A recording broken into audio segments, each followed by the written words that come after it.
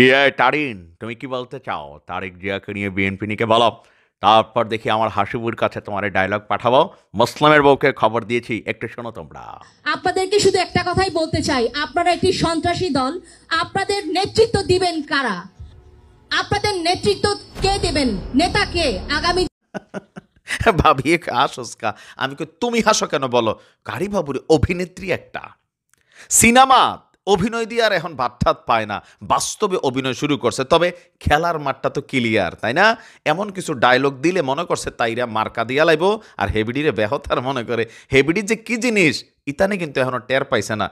দর্শক, কথা বলছি এই মুহূর্তে, যখন নির্বাচনের দিকে আওয়ামী লীগ যাচ্ছে, মনোনয়ন ফরম বেচার ধুম পড়ে গেছে। প্রতি আসনে এখনই দশজন করে মনে করলেন প্রার্থী হয়ে গেছে। দশজন মোটামুটি পনেরো কোটি টাকা আওয়ামী লীগ এখান থেকে পাইছে, আরও পাবে। কারণ মূলধারার যারা রাজপথের আওয়ামী লীগ, যুবলীগ, ছাত্রলীগ কর্মী ছিল, যারা এই এমপি পোস্টের জন্য প্রকৃত হকদার, আমাদের যে সকল বোনেরা, খালারা, চাচিরা, রাজনীতি করতে গিয়ে ভাতও খাইতে পারে নাই, শ্বশুরবাড়িতে কত বকাঝকা শুনছে, তারাও কিন্তু আজকে অনেকে নৌকার টিকিট কেনার জন্য যে পঞ্চাশ হাজার টাকা, এটা তাদের কাছে নাই।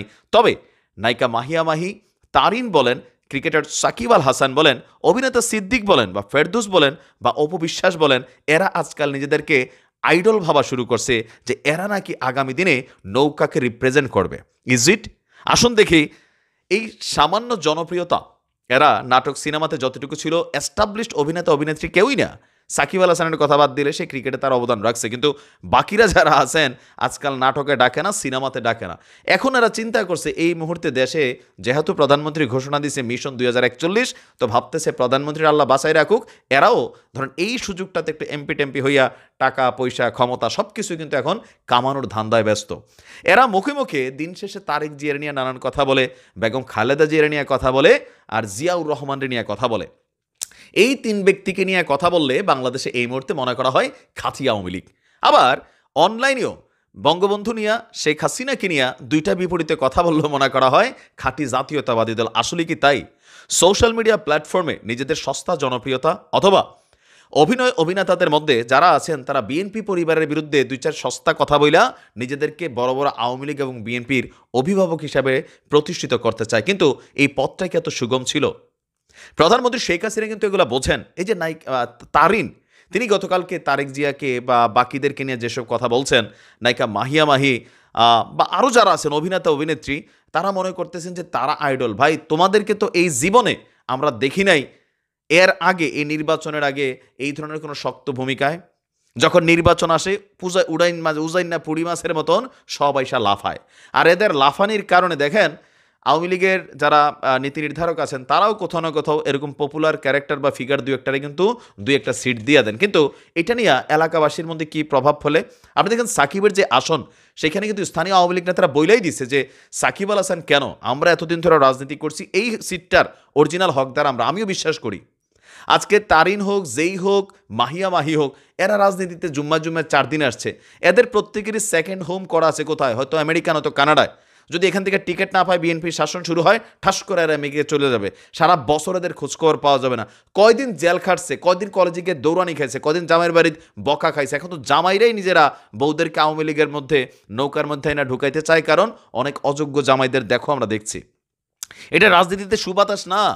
আমি একজন আওয়ামী লীগের কর্মী হিসাবে এই ধরনের হাইব্রিড ক্যারেক্টারদেরকে আমি মনে করি যে আওয়ামী লীগের প্রতিহত করা উচিত। সমর্থক থাকো। সমর্থন আমরাও তো করি। আমরা সারা জীবন আওয়ামী লীগ করে আসছি, আমরাও করি। তোমরাও করো। কিন্তু আইসা টিকিট কেন ভাই বাগাইতে চাইবা? জয় বাংলা বইলাই বা খালাদে জেরে দুইটা গালি দিলে, তারেক জেরে নিয়ে দুইটা কথা বলে বিএনপি নিয়ে চারটা কথা বললেই কি তোমরা মনে করো যে তোমরা শেখ হাসিনার নজরে পড়ে যাবা নেত্রী বহুজনরও পালে, দেখো না হাসানুলক ইনুরও পালে, যিনি পঁচাত্তরে বঙ্গবন্ধুকে হত্যার পরের যে দৃশ্যে একজন খলনায়কের ভূমিকা ছিলেন, শেখ হাসিনার রাজনীতি বোঝা এত সুযোগ মানে সহজ না।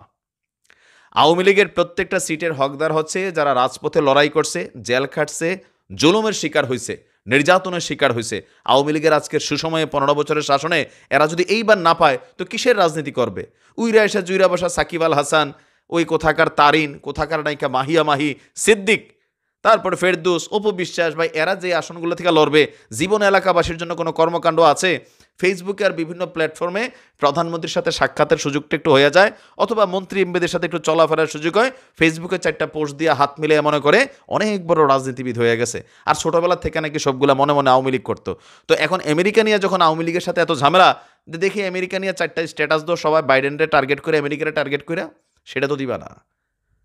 আমি আবারও বলি, এই যে নায়ক নায়িকার সার্কেলটা দেখতেছেন বিএনপি যদি কোনো সময় ক্ষমতায় আসে, এরা আজকে বিএনপির তারেক জিয়া বা খালেদা জিয়া এখানে যেই ধরনের কথা বলছে, এরা ঠিক একই ভাষায় শেখ হাসিনাকে নিয়ে কথা বলবে, বঙ্গবন্ধুকে নিয়ে কথা বলবে, কারণ পরিবেশটা তখন তৈরি হবে অন্যরকম। তা আমি মনে করি আওয়ামী লীগের উচিত, যারা প্রকৃত রাজনীতির মাঠের আওয়ামী লীগ, তাদেরকে কিন্তু এই জায়গাটা তৈরি করে দেওয়া। তবে উবায়দুল কাদের কাকুর একটা কথা আমার ভরসা হয়েছে।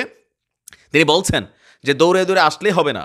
নেত্রীর কাছে সবার বায়োডাটা আছে। হ্যাঁ? যে রাজনীতির মাঠে জনতার সাথে কে কতটুকু কানেক্টেড এগুলা কিন্তু নেত্রী বায়োডাটা রাখেন। মনোনয়ন সবাই নিতে পারেন, কিন্তু প্রার্থী দেওয়া হবে যারা অরিজিনাল আওয়ামী লীগ। মুখে মুখে না, কর্মে অতীতে স্বাক্ষর রাখছেন, এগুলোর তথ্য প্রমাণ কিন্তু বা বায়োডাটা প্রধানমন্ত্রীর দফতর পর্যন্ত পৌঁছাবে। তো এই জায়গাতে আমি কিছুটা নিশ্চিত, আর আমি মনে করি এটা উচিত না, যারা রাজনীতি করে এদেরকে রাজনীতিতে থাকতে দেন, যারা পলিটিক্স বোঝে এরাই করবে রাজনীতি। আর উকই থেকে উড়ে জুড়ে এসা এগুলোর পক্ষে আমি না। আমি এগুলোর তীব্র বিরোধিতা করি। ভালো থাকুন। আসসালামু আলাইকুম।